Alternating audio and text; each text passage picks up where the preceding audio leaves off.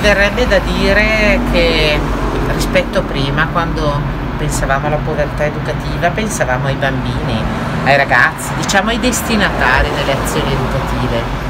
Adesso se penso alla povertà educativa, penso alla povertà come mancanza di qualcosa. Mi sembra che in questo momento tutti quanti manchiamo di qualcosa dal punto di vista educativo. La scuola, per un verso, i genitori a loro volta hanno scoperto la mancanza di una capacità di essere educatori dei propri figli o per contro magari di poterlo essere meglio di quanto non pensavano. I bambini hanno scoperto la possibilità di colmare dei vuoti educativi con delle cose diverse da quelle tradizionali che normalmente noi deleghiamo per esempio alla scuola. Quindi per certi versi sono emerse più mancanze, per certi versi sono emerse anche tante opportunità.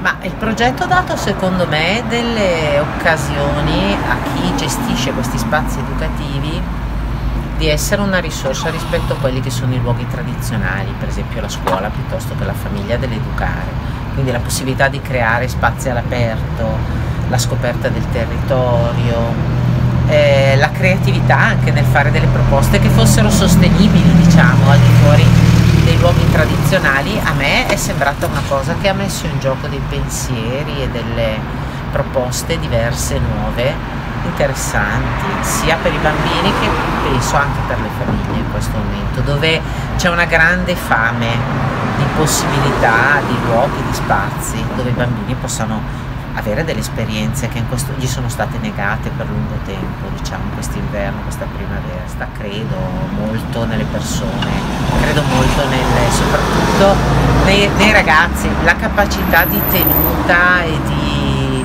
eh, resistere a queste chiusure, questa, questo affanno, questa mancanza di ossigeno del lockdown che hanno manifestato, secondo me dovrebbe esserci proprio di insegnamento. Sono stati i primi bambini e i ragazzi a essere capaci di stare alle regole, per quale motivo non dovrebbero riuscire ad adattarsi a delle situazioni nuove, diverse un domani. Penso che faremo più fatica noi adulti, sinceramente.